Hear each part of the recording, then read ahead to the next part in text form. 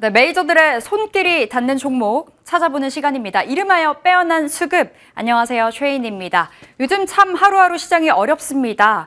이 많은 종목들의 주가의 위치는 낮아져 있지만 그렇다고 해서 선뜻 매수 버튼 누를 종목이 아, 잘 안 보이죠. 그래서 저희가 준비했습니다.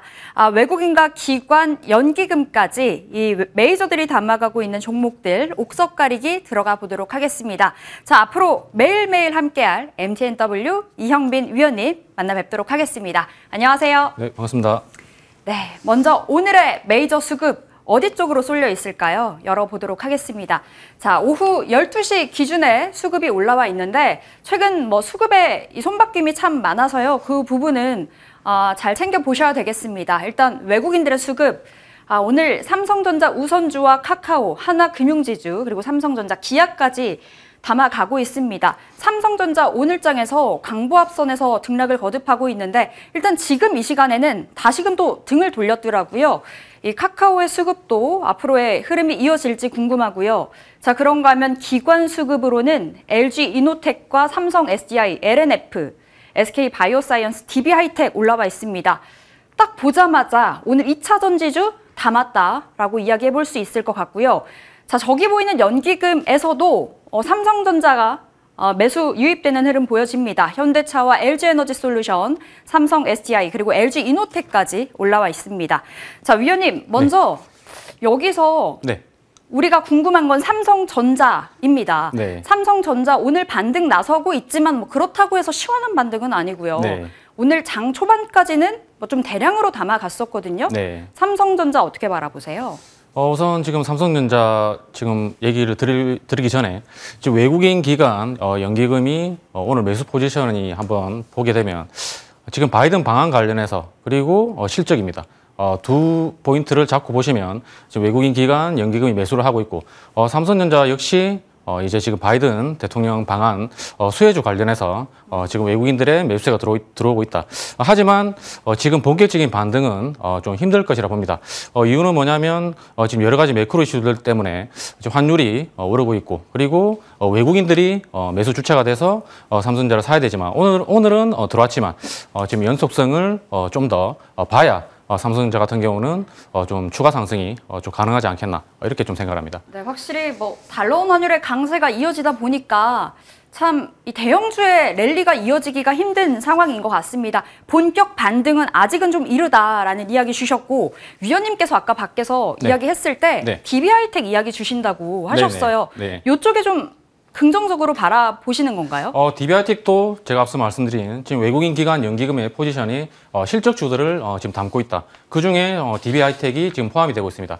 어, 파운드리 업체 중에서 어, 탑티어 종목으로 꼽히는 종목이 어, DBI텍인데 올해 어, 실적 실적이 지금 영업이익률이 한 46% 어, 정도가 지금 1분기에 어, 기록을 했다 하니까 어, 기업들이 어, 영업이익이 한 10%에서 20% 어, 정도가 나온다라면 아주 준수한 어, 실적을 볼수 있는데 어, 46%라는 것은 정말 엄청나게 어, 좋은 실적이 어, 영업이익 증가율이 나왔다. 어, 이렇게 좀 말씀을 어, 드리, 드리 고 싶고 그리고 DBI텍 같은 경우는 여러 증권사 애널리스트 분들이 이제 커버를 할때 목표가를 어, 13만 원까지 어, 제시를 하는 종목이기 때문에 어, 지금 7만 원대입니다. 예, 7만 원대라서 아직도 어, 저변력권에 있다. 어, 저는 그렇게 어, 생각하는 종목입니다. 네, 좋습니다. DBI텍 지금 7만 천 원 돌파하는 상황 오늘장에서 강하게 흘러가고 있습니다. 아, 우리 위원님께서 아직도 좀 저평가되어 있다고 봐주시는 만큼 좀 눈여겨봐도 좋을 것 같고요. 자 위원님 기관의 수급이 궁금한데 2차 전지 오늘 대량으로 담아가잖아요. 네. 2차 전지단에서는 또 어떻게 바라보시는지 네. 시각이 궁금합니다. 어, LNF 역시 지금 마찬가지입니다. 제가 말씀드린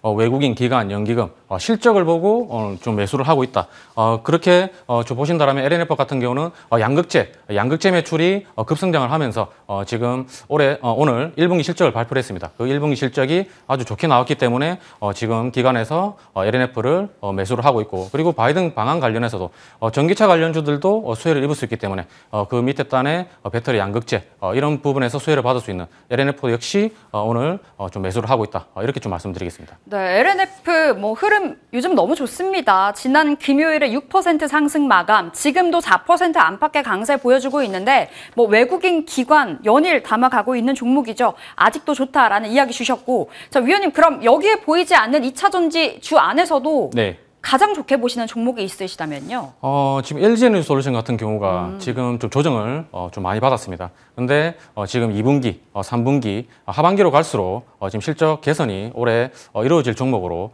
어, 지금 기대가 되는 종목이기 때문에 LG 에너지 솔루션도 어, 지금 바닥 반등을 좀 하는 부분이 나, 나오고 있다. 그렇기 때문에 어, 앞으로도 2분기, 어, 3분기 어, 실적을 어, 좀 기대를 하면서 어, LG 에너지 솔루션도 어, 저는 좋다고 어, 생각합니다. 네, 우리 위원님의 2차 전지주 내에서 어, 가장 좋게 보시는 종목은 LG 에너지 솔루션이다라는 이야기 주셨네요. 위원님 그럼 오늘 나와 있는 종목들 중에 가장 눈길이 가는 종목이 뭘까요? 어, 아무래도 저는 DB 하이텍, 예, DB 하이텍이 어, 실적적인 부분, 그리고 어, 바이든 어, 방, 어, 방안 관련해서 또 수혜를 또 입을 수 있는 종목, 어, 그리고 어, 지금 아직도 저평가된 종목이다. 어, 그런 부분에서 어, DB 하이텍을 어, 좀, 좀 좋은 종목으로 어, 추천을 드리고 싶습니다. 네, DB 하이텍 좋다 좋다 이야기 주고 계시고요. 자, 그럼 오늘의 위원님 탑픽 종목 네. 어, 들어보도록 하겠습니다. 어떤 종목 준비해 오셨을까요? 네, 오늘 제가 어, 준비해 온 종목은 어, 현대공업이라는 어, 종목입니다.